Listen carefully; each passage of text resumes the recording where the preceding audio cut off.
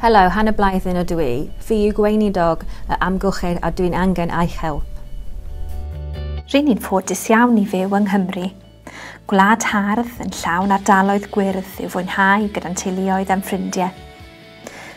Mae gen i'm draethau glân, amgylchedd sy'n rhoi awyr iach i ni anadlu dŵr i'w hyfed, bwyd i'w fwyta a llefydd cyffroes i ni fwynhau. Oherwydd ein bod ni mor falch o'r wlad hon, mae Llywodraeth wedi creu cyfreithiau bydd yn amddiffyn ei harddwch a'i natur. Rydyn ni'n barod yn gwneud llawer o bethau da yma. Ni yw'r argylchwyr gorau yn y deyrnas unedig a'r trydydd gorau yn y byd i gyd.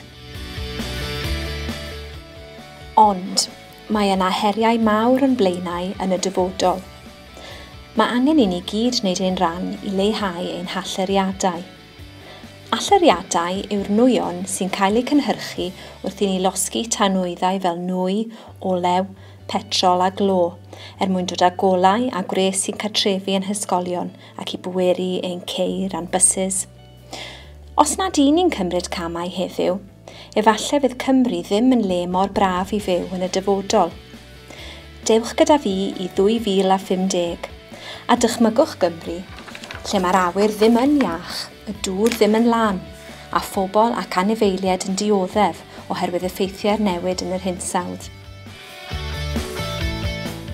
Mae'n rhaid i ni wneud newidiadau nawr i stopio hyn rhag ddigwydd.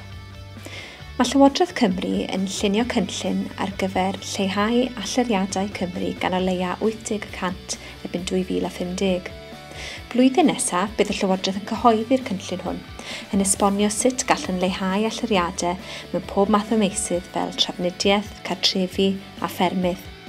Mae pob math o newidiadau yn cael ei ystyried, ond mae angen help arweinwyr y dyfodol yng Nghymru, sy'n golygu pob un ohonoch chi. Mae'r gweinidog angen help y meddylwyr mwyaf craff i benderfynu beth gallwn ni wneud cyn bod hi'n rhy hwyr. Felly eich sialens chi, os chi'n barod amdani, yw i ddweud wrthi sut le hoffech chi Gymru fod yn 2050. Oes na geir trydanol sy'n hedfan? Adeiladau wedi creu o baneli solar? Gall fod yna trefi tan ddŵr neu gorsafeidd pwer yn y môr?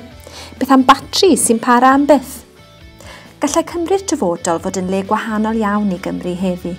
Mae yna lawer o ffyrdd i wella ansawdd yr awyr a'r dŵr ac i wneud yn siŵr ein bod ni'n cynhyrchu llai o wastraff. Dyma fy her chi, danfawnwch aig syniadau at y amsut Leu ffydd Cymru yn 2050.